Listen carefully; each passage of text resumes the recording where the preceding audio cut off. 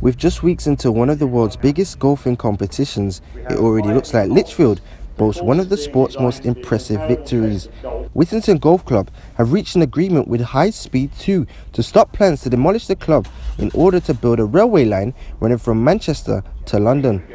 The initial project was set to completely dismantle the 130 year old golf course, but after six years of protests and disapproval, the day has finally come where both parties are on an even par.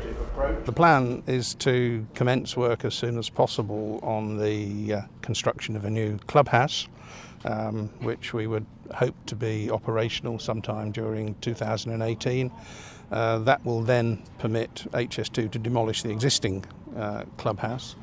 Uh, in parallel with that, we'll begin, um, we will acquire the land over which we have an option uh, and we'll begin construction of uh, five new golf holes. It's most definitely an inconvenience. Um, we would we would not be unhappy if the whole project went away, um, but uh, if it is going to happen, we want to come out the other side in as good a shape as we can. A confirmed date for when HS2's work will start is yet to be set, but Whittington Golf Course are hoping to start and finish work on their new plan within the next three years, meaning that most of the golf course will remain the same.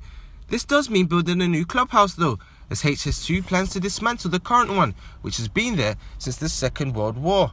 But Whittington are keen to hail the conduct of HS2. HS2 have acted very responsibly, in our view, over the whole process. I mean, it's very time consuming getting a government body to move quickly.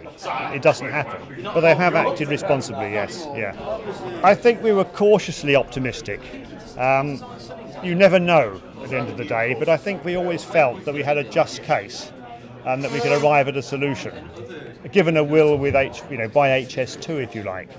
And I think our strategy of um, working and collaborating with HS2 has has helped us in this respect. The hope of HS2 completely scrapping the idea of running the rail line through the golf course didn't quite go to plan, but the fact that the course is staying means that they have reached their target. Whittington places immense importance on the younger generation, and those at the club feel that the latest twist in the story is vital for the future of golf in the Midlands. We are putting a lot of time into junior golf, we're putting a lot of money into junior golf. That is the future.